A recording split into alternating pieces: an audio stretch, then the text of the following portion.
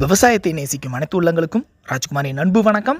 இன்றைக்கி பார்க்க போகிறது ஒரு விசித்திரமான கத்திரிக்காவை தாங்க பார்க்க போகிறோம் ஸோ பாருங்கள் எப்படி இருக்குன்னு ஒரு இது ஒரு கத்திரிக்காய் செடி தான் கூட எடுத்துக்கலாம். நம்ம ஊரில் வந்து கத்திரிக்காய் தக்காளி அப்புறம் வந்து பார்த்திங்கன்னா சுண்டக்காய் இது எல்லாமே வந்து ஒரே குடும்பத்தில் சேர்ந்த தாவரங்கள். ஏன்னா அதோட செடியோட இலைகள் தன்மை அதோட வளர்ச்சி இதெல்லாம் பொறுத்து என்ன பண்ணியிருப்போம்? ஒரே குடும்பத்தை சேர்ந்தது அப்படின்னு சொல்லியிருப்போம் பார்த்தீங்களா அதே மாதிரி கத்திரிக்காய் குடும்பத்தை சேர்ந்த இன்ன பா இன்றைக்கி நம்ம பார்க்க போகிறதும் ஒரு கத்திரிக்காய் தாங்க. ஸோ கத்திரிக்காய் அப்படின்றது வந்து நம்ம வந்து பார்க்குறத வச்சு என்ன சொல்கிறோம் கத்திரிக்காய் செடியில் முளைச்சனால கத்திரிக்காய்னு சொல்லிட்டோம். இதுக்கெல்லாம் வந்து வெவ்வேறு பேர்களில் உலக நாடுகள் அழைப்பாங்க. ஸோ இந்த தாவரத்தை பற்றி தான் நம்ம பார்க்க போகிறோம் இது பார்க்குறதுக்கு எப்படி இருக்குன்னு பாருங்கள் கத்திரிக்காய் செடியில் கத்திரிக்காய் மாதிரி காய்ச்சி ஆனால் அதோட தோற்றமே வந்து வித்தியாசமாக இருக்கும் பாருங்களேன். ஒரு அந்த எஜ்ஜில் வந்து நாலு கால் முளைச்ச மாதிரி இருக்கும். அதனால என்ன சொல்லுவாங்க அப்படின்னா நிப்பிள் ஃப்ரூட் அப்படின்னு சொல்லுவாங்க. நிப்பிள் பழம் அப்படின்னு சொல்லுவாங்க. இதுக்கு வந்து உலகத்தில் பவ்வே வெவ்வேறு நாடுகளில் வெவ்வேறு பேரில் வந்து அழைப்பாங்க. எடுத்துக்காட்டால் நரித்தலை பசுவின் வந்து மடி அப்புறம் வந்து சேதமீன் ஆப்பிள் அப்படின்ற பரவலாக வந்து ஒவ்வொருத்தரும் வந்து என்ன பண்ணுவாங்கன்னா ஒவ்வொரு பேரில் அழைப்பாங்க. ஆனாலும் உலக மக்களால் எல்லாராலையும் பேசப்படுறது அப்படின்னு பார்த்தோம்னா நிப்பிள் ஃப்ரூட் அப்படின்னு தாங்க சொல்லுவாங்க.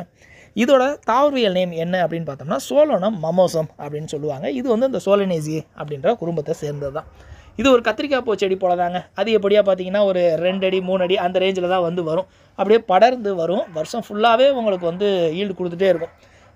இது வந்து இந்த விதைகள் மூலமாக தான் அதிகமாக உற்பத்தி பண்ணுவாங்க. ஸோ ஒட்டுக்கட்டின முறை நம்ம வந்து தெரியும். ஏன்னா கத்திரிக்காயில் யாரும் அந்த அளவுக்கு யாரும் பண்ணுறதில்ல ஏன்னா ஈஸியாக நீங்கள் வந்து விதைகள் போட்டீங்க அப்படின்னா ஈஸியாக முளைச்சி வந்துடும் நம்ம ஊரில் இந்த செடி பரவலாக வந்து எதுக்காக பயன்படுத்துகிறாங்க அப்படின்னு பார்த்தோம்னா ஒன்லி அழகுக்காக மட்டும்தாங்க.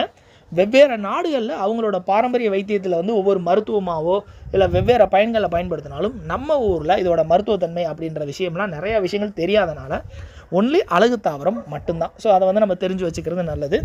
மற்றபடி இது என்னதெல்லாம் பயன்படுத்துகிறாங்க அப்படின்னு பார்த்தோம்னா ஒவ்வொரு நாடுகளில் ஒவ்வொரு விஷயத்துக்காக பயன்படுத்துவாங்க. இதோட தாயகம் அப்படின்னு பார்த்தோம்னா தென்னுக்கு தென் அமெரிக்கா தாங்க இதோட தாயகம். ஸோ அதுக்கப்புறம் என்ன வச்சு உலகம் எங்கும் வந்து இதோட விசித்திரமான தோற்றத்துக்காக பரவிச்சு ஒரு சில நாடுகளில் இதை உணவாகவும் பயன்படுத்துகிறாங்க இதோட காய்களாக இருக்கட்டும் இதோட இலைகளாக இருக்கட்டும் இதோட பழங்களாக இருக்கட்டும் உணவாக பயன்படுத்துகிறாங்க இருந்தாலும் இந்த இலையாக இருக்கட்டும் பழங்களில் ஒரு சிறிய நச்சுத்தன்மை இருக்கிறனால யாரும் வந்து என்ன பண்ணுறதில்ல பெரிய அளவில் பயன்படுத்துறதில்ல.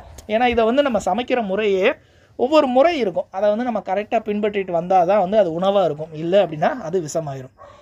இந்த இதில் என்னென்ன மாதிரி மருத்துவத்துக்கு பயன்படுத்துகிறாங்க அப்படின்னு பார்த்தோம்னா ஆஸ்துமாவுக்கு வந்து இதோட இலைகள் இருக்கும் பார்த்தீங்களா? இலைகளாக இருக்கட்டும் வேறு தண்டுகள் இருக்கும்ல அதுதான் முக்கிய மருந்தாக வந்து பயன்படுத்துகிறாங்க இந்த இலை சாறை எடுத்து என்ன பண்ணுவாங்கன்னா அந்த தோலில் இருக்க புண்களுக்கு வந்து சில இதில் வந்து பாரம்பரிய வைத்தியத்தில் வந்து பயன்படுத்துவாங்க.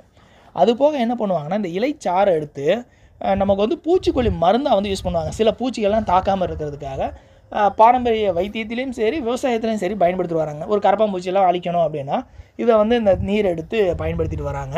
அதே மாதிரி இந்த பழத்தில் உள்ளே வந்து இது காயாக இருக்கிறப்ப பச்சை கலர் தாங்க இருக்கும். பழுத்ததுக்கு அப்புறம் மஞ்சள் கலராக இருக்கும். காய்க்குள்ளே ஒரு கருப்பு கலர் விதை இருக்கும். நிறையா கூழ் இருக்கும். அது வந்து நம்ம சோப்பு நுரையெல்லாம் எப்படி இன்னும் ஒரு பிசு பிசுப்பு தன்மையோட நுரையாக வரும் பார்த்தீங்களா அந்த மாதிரிக்கு வந்து தேவைகளுக்கு வந்து பயன்படுத்திகிட்டு இருக்கிறாங்க. இந்த மாதிரி தாங்க உலகத்தில் பரவலாக வந்து பயன்படுத்துவாங்க. ஸோ சமைக்கிற முறை அப்படின்றப்ப அந்த காய் இருக்கும் பார்த்தீங்களா அதை வந்து நம்ம உணவாக நம்ம எப்படி கத்திரிக்காய் சமைப்போம்? அதே மாதிரி சமைப்பாங்க. பழமும் சிலரால் வந்து பழங்களாக வந்து உண்ணக்கூடிய பழங்களாக ஏற்றுக்கொள்ளப்பட்டாலும் சின்ன சின்ன நச்சுத்தன்மை உள்ளது. அந்த இலையிலேயே வந்து சின்ன நச்சுத்தன்மை. அதை வந்து கரெக்டாக அந்த முறைப்படி நம்ம எடுத்தால் மட்டும்தான் அதை யூஸ் பண்ண முடியும். அதனால் நிறையா நாடுகள் வந்து என்ன பண்ணுறதுலன்னா இது ஒரு விஷயமாக தான் பார்க்குறாங்க அதை வந்து யாரும் பயன்படுத்துறதில்ல இருந்தாலும் இந்த கத்திரிக்காயில் கால்சியமாக இருக்கட்டும் பாஸ்பரா இருக்குது பாஸ்பரஸு இரும்பு வைட்டமின். ஸோ இந்த மாதிரி நிறையா சத்துக்கள் இருக்குது ஸோ அதை என்ன பண்ணலாம்னா நம்ம வந்து தெ- இப்போதைக்கு நம்மளை பொறுத்தவரை என்ன பண்ணலாம்? ஆஹா இந்த மாதிரி ஒரு செடி இருக்குப்பா. இது அழகுக்காக வளர்க்கலாம். ஃப்யூச்சரில் வந்து பார்த்திங்கன்னா நல்லா வந்து நம்ம சித்தமாக ஆராய்ச்சியோ வேறு எல்லாரும் கண்டிப்பாக இதை பற்றி முறையாக தெரிஞ்சு யாரோட அரு நம்ம தேவைகள் இருக்கிறப்ப அதாவது நமக்கு வந்து பார்த்திங்கன்னா இப்போ ஆங்கில மெடிசன் தான் அதிகமாக போயிட்டோம். இருந்தாலும் வருங்காலத்தில் வந்து ஒவ்வொரு செடிகளோட தேவைகள் புரிஞ்சு ஓகே இதெல்லாம் பயன்படுத்தலாம் அப்படின்ற நிறைய ஆராய்ச்சிகள் வந்து நடந்துகிட்டே தான் இருக்குது அப்படி நம்ம வலியுறுத்துறப்ப நம்ம என்ன பண்ணலாம்? மருத்துவத்துக்கு பயன்படுத்தலாம். ஸோ அது வரைக்கும் என்ன பண்ணலாம்னா அழகுக்காக மட்டுமே வளர்க்கலாம். ஓகே ஃப்ரெண்ட்ஸ் கண்டிப்பாக வந்து பார்த்திங்கன்னா இன்றைக்கி ஒரு வித்தியாசமான செடி ஒரு வித்தியாசமான கத்திரிக்காயை பற்றி கற்றுருந்தோம் அப்படின்னா மறக்காமல் லைக் பண்ண மறந்துடாதீங்க. நாளைக்கு ஒரு வித்தியாசமான பழங்களோட சந்திப்போம். நன்றி. வணக்கம்.